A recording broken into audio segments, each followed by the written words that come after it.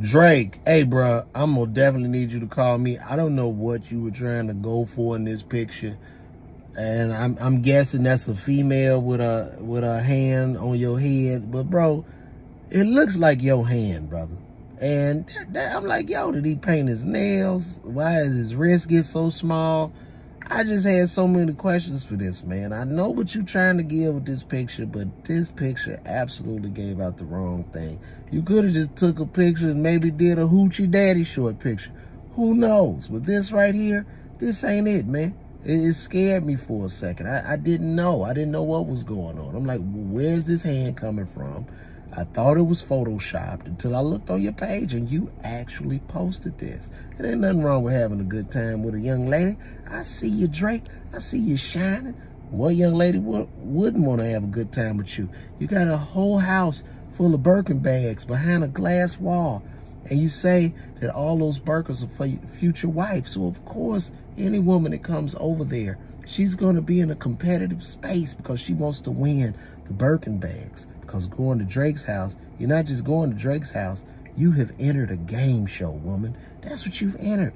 And somebody, they're going to do whatever they can to get those Birkin bags. Those Birkin bags have given those women purpose, brother. That's what you've done. You've given them purpose. You've given them something to aim for, brother. And you did that. But this hand, it just threw me off, man. As soon as I saw it, I said, what's going on? I had to like take my glasses off and kind of scratch my eyes because I just, I didn't know. I didn't know. And I figured this was some young girl too because she got different color nails. And please, if you're an older woman, stop doing that. If you're in your 40s, don't, don't do these kind of nails. Let it go. Just age gracefully. Don't try to hold back the hands of time like Madonna and you 60 some years old getting your face injected and your face continuously gets bigger and bigger due to the Botox and the fillers and the Juvederm. Don't, don't do that. Like, just age gracefully.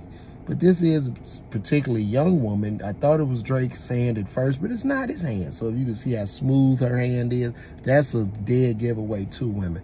Take care of your hands because your hands can show your age. A lot of women look young in the face, but man, when you see them hands and them hands just look like they've been working on the railroad or, or look like they just came out of some type of slave movie, that lets you know the age of some of these ladies. Like, if you gonna get your face Botoxed out, get them hands done too. So you ain't them knuckles and stuff not looking crazy.